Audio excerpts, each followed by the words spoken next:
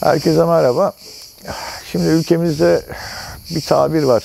Adamcı köpek diye. Köpek PD için bununla ilgili bir video çekeceğiz.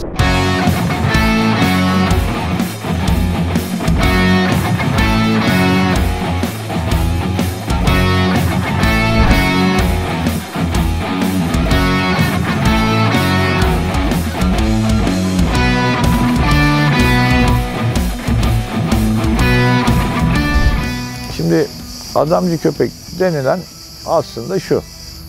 Normal olarak düşünüldüğü zaman şu. Bir köpek bahçede diyelim dışarıdan birisi geldi. Ona karşı bahçesini koruyor. Ya da sahibiyle birisi istenmeyen ses tonuyla konuştu. Sahibini koruyor, karşı tarafa saldırıyor. Buna adamcı köpek deniliyor. Ama adamcı köpek demek şu değil. Nedensiz yere insanlara saldıran köpeğe adamcı köpek denmiyor. Ülkemizde işte karıştırılan bu.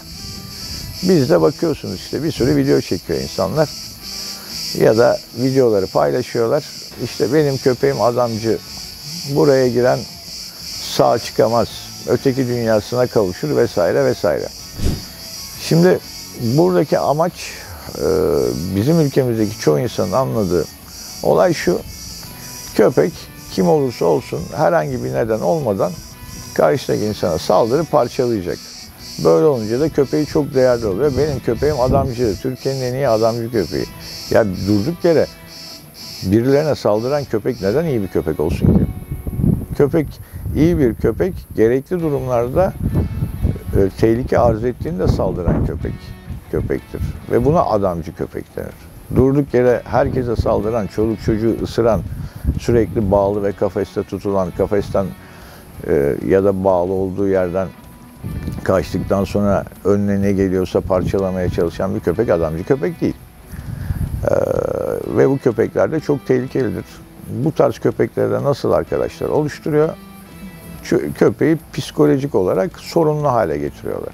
Yoksa yavruluktan geldiğinde köpek normal. Köpeği çok dar alanda tutuyorlar, sürekli bağlı tutuyorlar. İşte sürekli başka hiçbir şeyle temas ettirmiyorlar. Amerika'da hücre cezasına çarptırılmış mahkumlar pozisyonuna geliyor hayvan. E geldikten sonra da artık psikolojisi bozuluyor.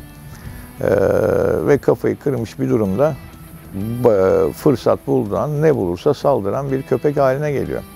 Şimdi böyle köpekler yetiştirmek e, zaten doğru değil.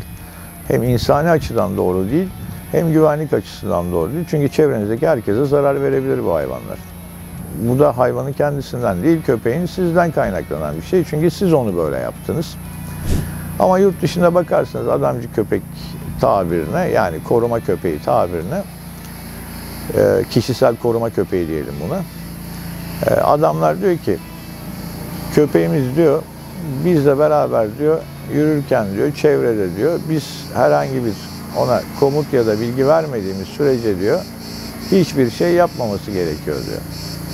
Ama diyor biz ona dersek ki diyor işte saldır, yakala, bizi koru gibi komutlar verirsek diyor o zaman diyor saldırması gerekir diyor. Yani tamamen diyor konu bizim kontrolümüzde olmalı diyor ve bize uymak zorunda olmalı diyor. Yoksa durduk yere diyor insanlara saldıran bir köpek diyor yakın koruma köpeği ne de alan koruma köpeği olabilir diyor. Şimdi doğrusu bu. Bahçenize sizin izniniz dışında birisi giriyorsa bu köpeğin saldırmaması lazım. Ama yanında siz varsanız ve kişiyi kabul edip beraber yürüyorsanız ve bir komut vermemişseniz bu köpeğin gelen yabancı hiçbir şey yapmaması gerekiyor. Adamcı köpek budur. Bunun dışında da e, bizdekiler gibi sahibi yanındayken bile elinden kurtulup adamı öldürmeye çalışan köpeğe adamcı köpek denmesi doğru değil ve bu köpekler de e, koruma köpeği değildir. Bu konuya da açıklık kavuşturalım.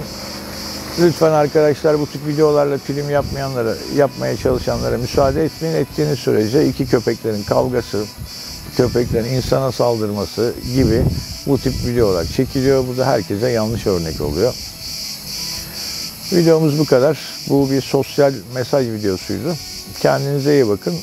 Köpek Bey'de YouTube kanalına üye olursanız da çok seviniriz. İyi günler.